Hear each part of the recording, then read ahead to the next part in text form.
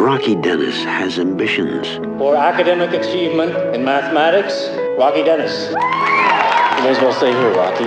For achievement in history, Rocky Dennis. And for achievement in science, Rocky Dennis. He has hopes. Ben and I are saving up our money to ride motorcycles through Europe.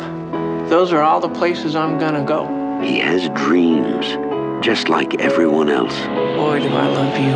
I wish we could run away and be together all the time. We can't run away, Diana. The only thing is, Rocky Dennis isn't like everyone else. I don't look like Adonis. I'm kind of strange looking. I've got this problem that makes my face look real unreal.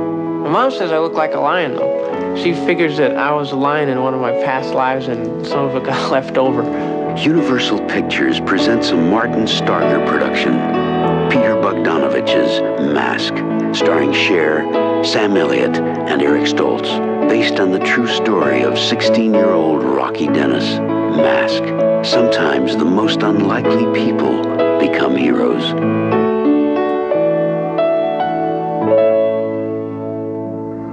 Limited platform release March 8th. General release March 22nd.